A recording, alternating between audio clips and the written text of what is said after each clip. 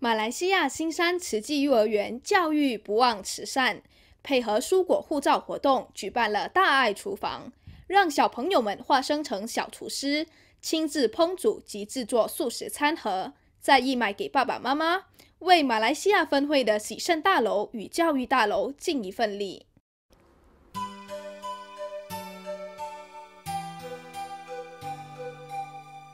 穿上围裙，套上头巾。再戴上口罩，小朋友们十足大厨师的模样，准备要烹调五星级的爱心餐盒。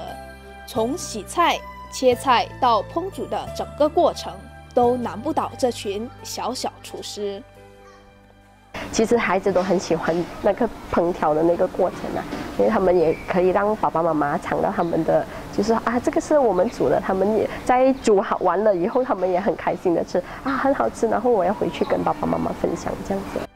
孩子们用心制作的饭盒开放让家长订购，大爱厨房除了有效鼓励了孩子们吃素，也带动了家长一起配合。嗯，很特别哦。嗯，然后小，因为我的孩子带回去的时候都会跟我很很开心的拿给我，然后看着我吃，然后一直问我好不好吃，这是他帮忙切的，嗯，他们自己小朋友准备的，所以我们我们也吃的很好吃，他们也很开心。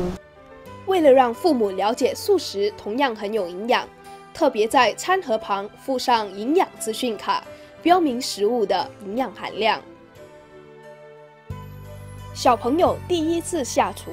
都迫不及待的和爸爸妈妈分享起自己的拿手好菜。哎，你明天要煮给爸爸妈妈吃啊？啊，这样哦。等下就想说，还会问回我们，呃，你们想吃什么啊？这样哦。好，就是说想吃什么就煮什么给我们吃咯。啊，这样。一个小小的饭盒，里面装的除了有美味的晚餐外，还有孩子们满满的用心。爸爸妈妈们吃在口里，温暖在心里。大爱新闻，真善美之功，马来西亚新山报道。